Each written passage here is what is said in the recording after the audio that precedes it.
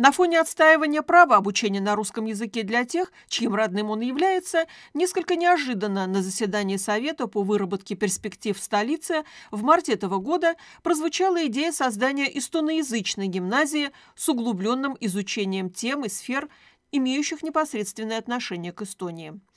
Сегодня эту идею обсуждала комиссия по культуре и образованию Горсобрания с привлечением общественности, представителей университетов, школ, людей, заинтересованных в появлении такого учебного заведения.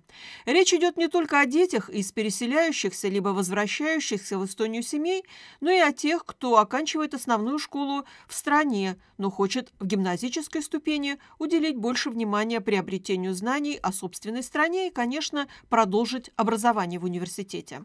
Поскольку инициаторы этого идея и, и университеты, э, Таллинские университеты, тогда я надеюсь, что у нас удастся привести это знание, которое есть в университетах и э, общих образовательных э, школ Таллина.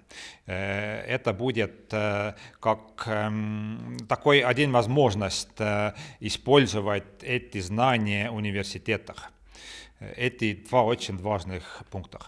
В качестве названия учебного заведения предложено коллегиум эстоникум, и содействовать его становлению готовы Художественная академия, Академия музыки и театра, Таллинский технический университет и Таллинский университет.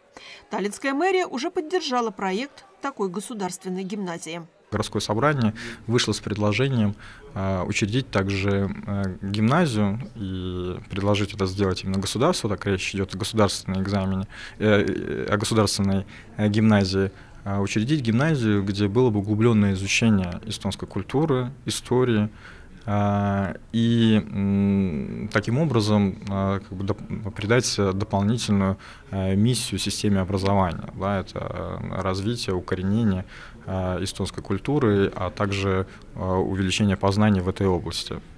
Я уверен, что такая гимназия должна быть интересна не только непосредственно э, эстонским ученикам, но и детям из русскоязычных семей. В случае, если столичное горсобрание одобрит идею учреждения новой государственной гимназии, документ будет отправлен на рассмотрение Министерства образования и науки, и свое слово должен будет сказать министр. В феврале планируется провести большую конференцию, на которой можно будет детально обсудить, какой видят гимназию нового типа заинтересованные государственные и общественные организации, представители бизнеса и культуры.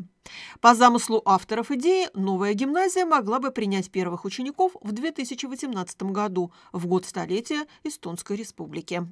Наталья Малиус, Сергей Попридуха, Первый Балтийский канал.